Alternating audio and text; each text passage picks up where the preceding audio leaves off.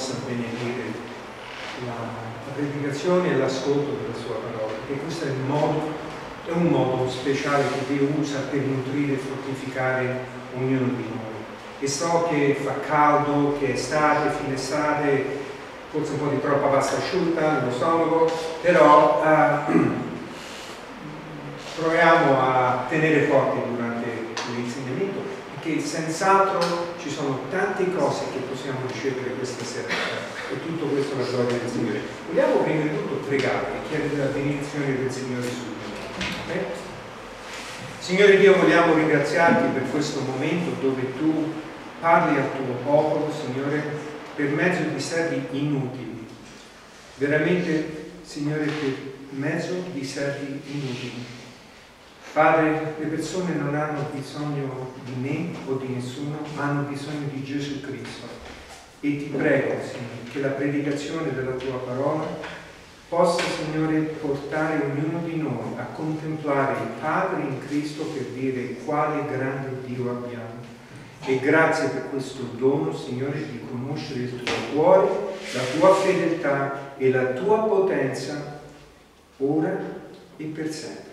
Amen. Allora, Marco ha letto dal primo capitolo di Ruth e sapete ci sono due cose che sono certe nella vita. La prima è la morte, quella è certa, e la seconda è che pagheremo tutte le tasse. Okay? E grazie a Dio per la prima c'è una soluzione, per la seconda non so se c'è rimedio pagare le tasse, però possiamo aggiungere un'altra cosa a questa lista, cioè che esiste la sofferenza. Esistono le disgrazie e ogni persona che esiste, che vive, o sia grande, o sia piccolo, o sia ricco, o sia povero, prima o poi incontrerà durante il suo percorso della vita delle sofferenze di vari tipi. Basta che noi ascoltiamo il telegiornale o vediamo anche intorno a noi, nelle nostre vite, nelle nostre esperienze, vediamo delle cose più assurde che capitano, le cose più strane, impossibili, no? E, come ho detto, sono delle realtà inevitabili nel percorso della vita dell'uomo. Giobbe disse, al capitolo, ecco sì, grazie Benjamin, ma l'uomo nasce per soffrire come la favilla per volare in alto. Cos'è una favilla? La favilla è una scintilla, un frammento minutissima di materiale incandescente che si alza o viene sparata dal fuoco e un esempio di una scintilla è un corpo metallico. Ha visto quando un fabbro batte una barra di, di metallo rovente, no? Partono delle scintille e la vita è così, la vita è dura perché viene battuta e la nostra vita è breve come questa scintilla, incandescente si spegne subito. E nessuno potrà evitare su questa terra afflizioni né dispiaceri. Situazioni negative possono presentarci all'improvviso e condizionano i nostri sentimenti, condizionano i nostri pensieri, condizionano le nostre azioni. E uno dei sentimenti più comuni quando ci capita una disgrazia o una sofferenza è alzare il pugno al cielo, la rabbia.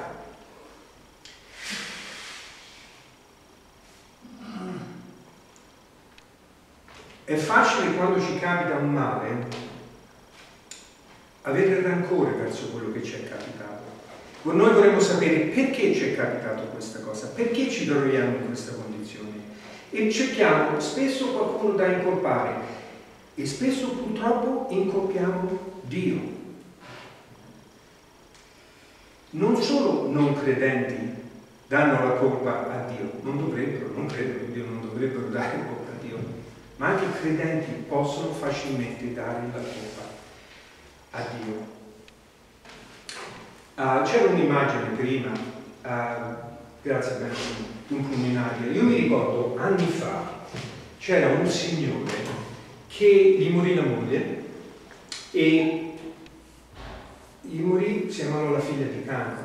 E non so se tu c'eri senza c'ero, And- sì, uh, andavo, andando da loro e pregare per loro. E parlando con lui, lui uscì dalla camera sua, praticamente alzò il pugno in alto al cielo e incominciò a bestemmiare Dio dicendo se Dio venisse qua giù cosa gli farei no? è una cosa terribile vedere una cosa del genere da una persona reagire in questo modo verso Dio e come ho detto, questa reazione, non dico la bestemmia, ma la rabbia, il rancore verso Dio, non è una cosa che è solo per i non credenti, può succedere anche nel più profondo, intimo del nostro cuore. Possiamo avere una stanzetta dove siamo arrabbiati con Dio per qualche ragione, che qualche situazione che ci è successo. Abbiamo letto di questa donna chiamata Naomi, e Naomi non era una pagana, non era un non credente, apparteneva proprio al popolo di Dio. E la sua vita era caratterizzata da molte pene, da molte disgrazie. Gli successero tante, tante cose.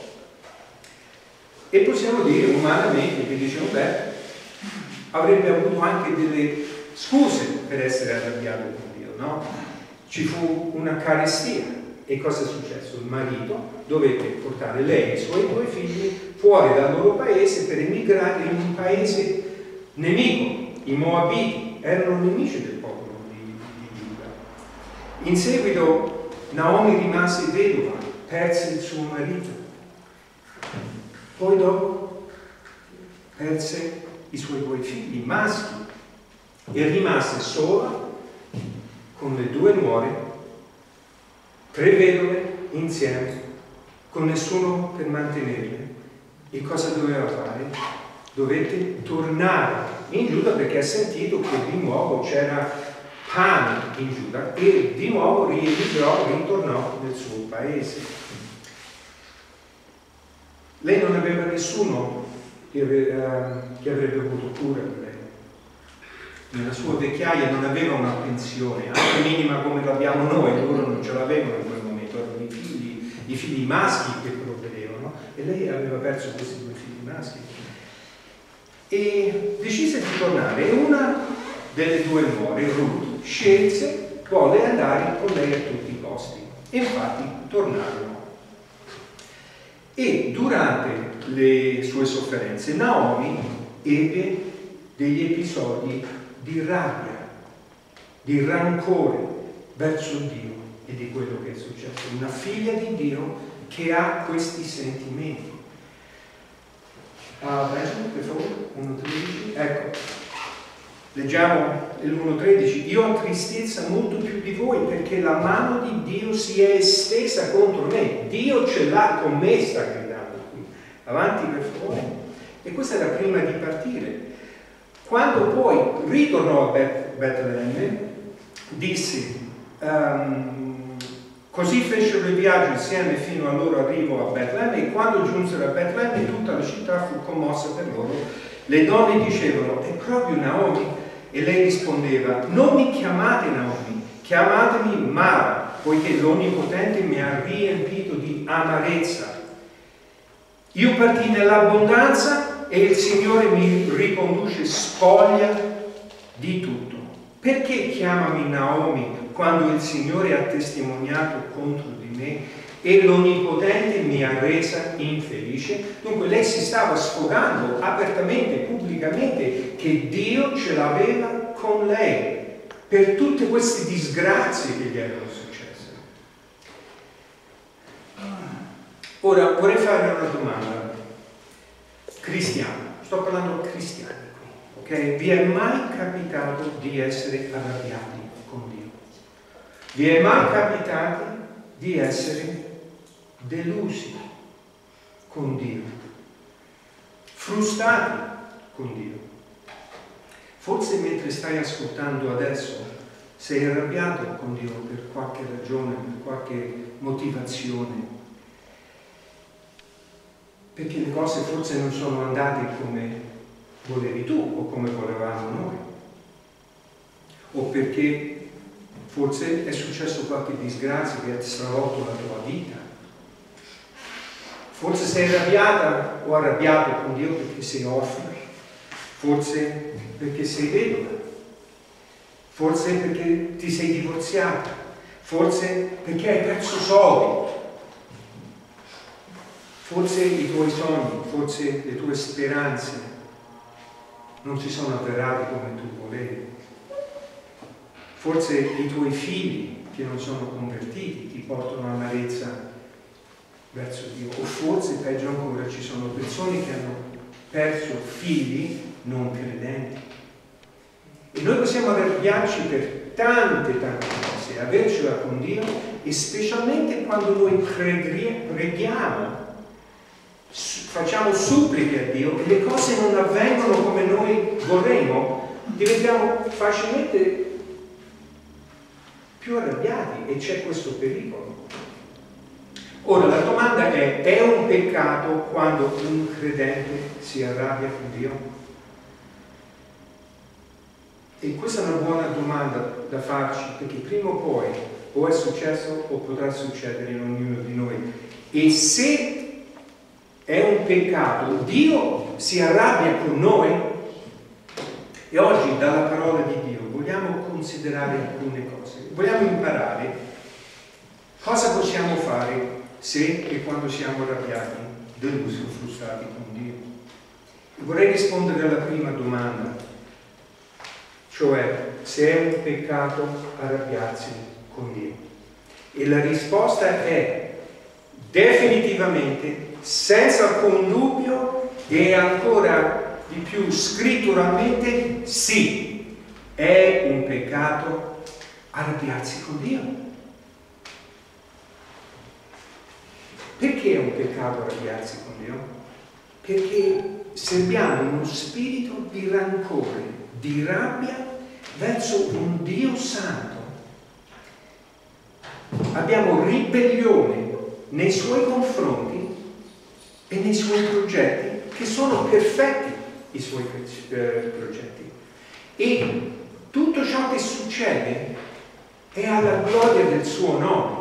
Dunque noi quando ci arrabbiamo, abbiamo rancori, siamo non voglio usare il termine bestialini, ma comunque ci stiamo ribellando verso un progetto santo alla gloria del suo nome stesso. Non è la gloria tua, la gloria mia, la gloria di questa chiesa, il cristianesimo, non è la gloria di questo, è alla gloria di Dio in Cristo, ogni cosa che Dio permette. Dunque dobbiamo stare attenti a capire che quando noi siamo tentati o cadiamo in quella tentazione di alzare il pugno all'aria, ci stiamo ribellando contro il Signore. Dio non ci deve niente, cari fratelli. Noi, l'uomo, vive come se Dio gli dovesse qualche cosa, come noi meditassimo chissà che ma già il fatto che mangiamo, che viviamo, che respiriamo, che abbiamo affetti, che abbiamo figli, che non succede tutto il male che potrebbe succederci, che abbiamo sogni, abbiamo speranze, abbiamo Cristo. È tutto un dono, anche le cose più piccole, buone, provengono da Dio da quella farfalla che passa, da quel fiorellino che vedi, da quel profumo nell'aria dopo la pioggia che senti. Quello è la bontà di Dio attraverso il suo creato. Ma ogni cosa che è male non viene da Dio, lui lo permette, ma non viene da Dio, è causa della caduta dell'uomo. Dunque non possiamo prendercela con Dio, è una conseguenza di io, dell'uomo, della caduta, di ciò che è successo. Perché ce l'abbiamo con Dio? Perché in sostanza non ci sta bene quello che Lui sta permettendo nella nostra vita. Una seconda domanda è, dunque, se io mi arrabbio con Dio è un peccato, Dio, l'Onnipotente, si arrabbia con il suo figlio che ha rancori, che è arrabbiato con lui? E la risposta è grazie a Dio, no. Dio non, non si arrabbia, non ha rancori verso di noi e gloria a Dio per questo. Perché vorrei dire una cosa prima di tutto, è se sei una persona non rigenerata, se non sei nato di nuovo, Dio ti è nemico. Dio non è il tuo amico. C'è inimicizia tra il peccatore e Dio. Dio è padre, amico, fratello di coloro che sono in Gesù Cristo. Noi abbiamo pace con Dio, perché Dio ha fatto pace con noi nel suo figlio. Dunque, prima di tutto, da quale punto stiamo partendo? Dio, non illudiamoci che Dio è solo amore, Dio è amore, ma Dio è anche giustizia. Dunque, se tu non hai sperimentato una Pentecoste spirituale personale, se tu non hai incontrato Dio in Cristo attraverso lo Spirito Santo, se tu non sei stato rigenerato, nato di nuovo, vita cambiata, benedetto dallo Spirito Santo, confessandolo, battezzandolo, esamina se appartieni veramente a Dio. Dio non si arrabbia con i suoi figli perché vede Cristo in noi. Dio vede Cristo in noi. Lui conosce le nostre debolezze, lui conosce la nostra natura, la, lui ha misericordia verso noi e lui ha pietà di noi, malgrado i nostri sentimenti, le nostre reazioni. Quando noi non capiamo quello che succede e anche quello che pensiamo, Dio continua a avere misericordia verso, verso di noi. E posso dire un altro punto che Um,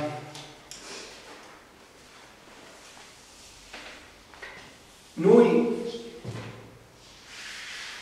noi stiamo in buona compagnia perché grandi uomini di Dio, uomini e donne di Dio, si sono trovati nella stessa circostanza come noi. Dunque non è, sì, è un conforto, è un conforto perché noi siamo in buona compagnia di eroi testimoni nella Bibbia che per tempo erano arrabbiati con Dio, erano delusi, erano frustrati con Dio, ma Dio continuò ad avere pazienza con loro. Lui continuava ad amarli, anche a benedirli durante le loro sofferenze. Mosè si arrabbiò con Dio, Davide era arrabbiato con Dio, Giobbe era arrabbiato con Dio. Uh, Benjamin, per favore.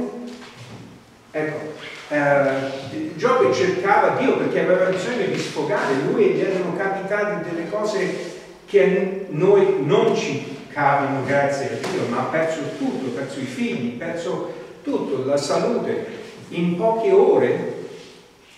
E lui cercava Dio, dice, ma ecco, se vado a Oriente egli non c'è, se a Occidente non lo trovo, se a Settentrione quando vi opera, io non lo vedo, si nasconde, egli a sud, io non lo scordo, lui cercava Dio, era arrabbiato perché voleva esporre la sua causa a Dio e non ce la faceva. Noi siamo, pensiamo Giobbe, la pazienza di Giobbe, Giobbe non era così paziente, Giobbe era arrabbiato con Dio. Giona era arrabbiato con Dio perché Dio ha voluto salvare un popolo nemico. Giona era arrabbiato con Dio se l'avesse un Dio. Geremia era arrabbiato con Dio, grandi profeti. Avanti per favore. Ora, uh, ascoltate questo cuore, questo cuore di rancore, sentite Geremia, maledetto il giorno che mia madre mi partorì, non sia benedetto, maledetto sia l'uomo che portò a mio padre la notizia, ti è nato un maschio e lo colmò di gioia, sia quell'uomo come le città che il Signore ha distrutte, senza pentirsene. Oda, egli grida al mattino e clamori di guerra il mezzogiorno, perché non, perché non sono morto quando ero ancora nel grembo di mia madre? Così mia madre sarebbe stata la mia tomba e la sua gravidanza senza fine. Perché sono uscito dal grembo materno per vedere il tormento e il dolore per finire i miei giorni nella vergogna? Lui era arrabbiato, era arrabbiato di brutto e si sfogava contro Dio, a Dio. Ti sei sentito mai in questo modo? Eppure, buona notizia, fratelli e sorelle, Dio rimase paziente con loro, continuò ad amarli e continuò a benedirli e continuò a portare avanti il suo progetto attraverso di loro, malgrado il loro, malgrado il loro rancore. E sappi che, ok, puoi fare, tu puoi rilasciare i tuoi sentimenti a Dio. E questa è una delle cose, le soluzioni se tu sei amareggiato con Dio. Cosa posso fare? Beh, la prima cosa che puoi fare è rilascia i tuoi sentimenti davanti a Dio. Sfogati, dillo davanti a Dio con rispetto e riverenza. Lui può incassare il tuo dolore, lui può incassare quello che tu hai da dire, lui può incassare il tuo sentimento e lo puoi fare tranquillamente, puoi aprire il tuo cuore e sfogarti davanti al Signore. E lui non ha visto come un bambino che fa un capriccio, che piange la madre, sta ferma, lo tiene, lo calma, continua ad amarlo, no, continuerà a provvedere, è così con Dio, però con rispetto e reverenza. Noi possiamo fare questo perché Dio ci capisce, come dice in Ebrei, um, avanti per favore, noi non abbiamo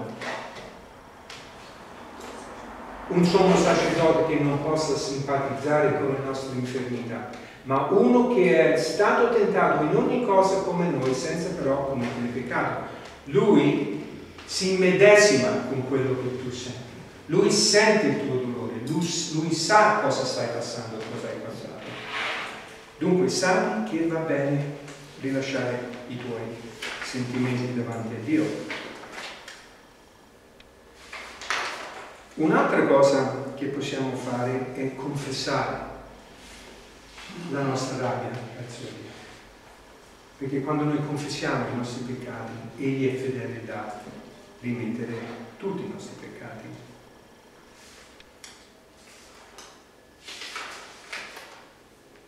Scusate che ho perso un foglio qui.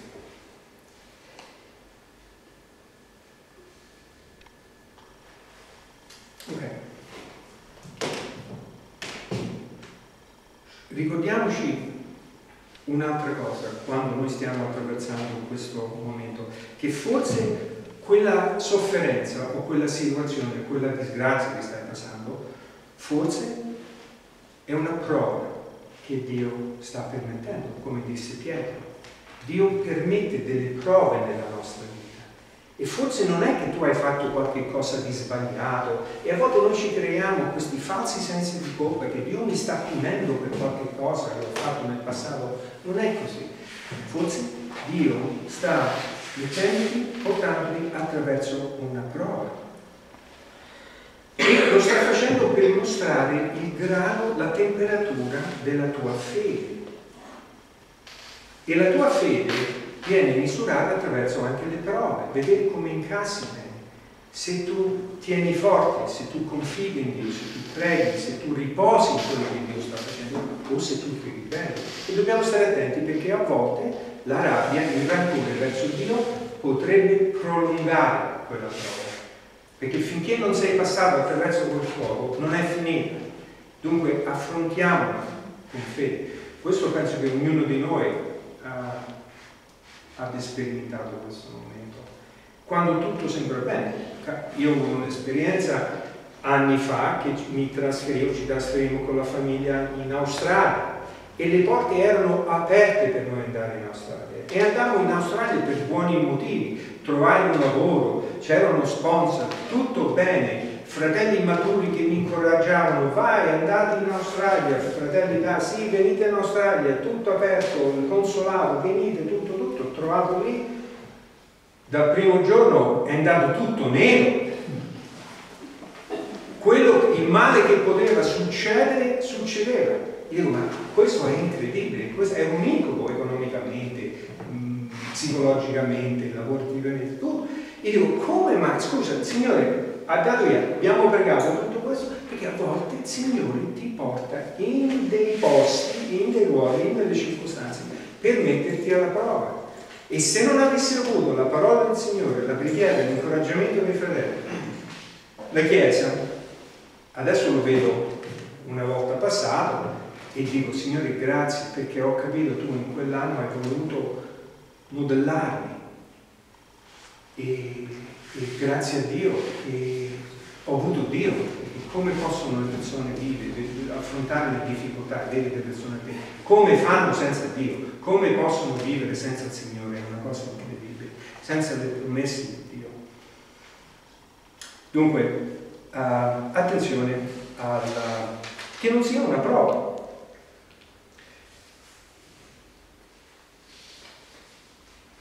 Sapete, durante le sue sofferenze, Dio continuava a, a benedire Naomi e